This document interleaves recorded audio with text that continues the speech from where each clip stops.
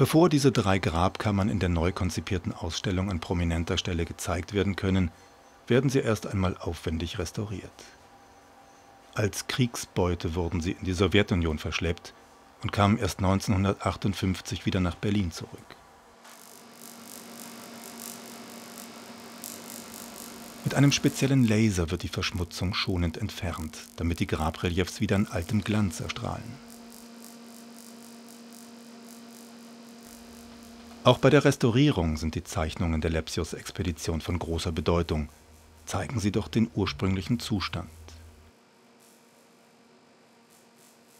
Alle Aspekte des täglichen Lebens können in diesen Bildern abgelesen werden. Und darum ging es Lepsius einen authentischen Einblick in die Lebenswirklichkeit vor 4000 oder 4500 Jahren zu geben. Opferszenen wie diese vom Grab des Manofer geben Einblicke in den Alltag des alten Ägyptens.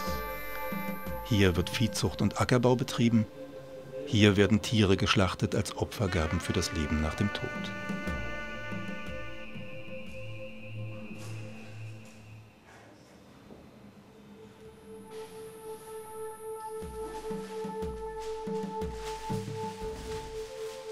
Am Grab des Manofa können wir buchstäblich den altägyptischen Bildhauern zuschauen.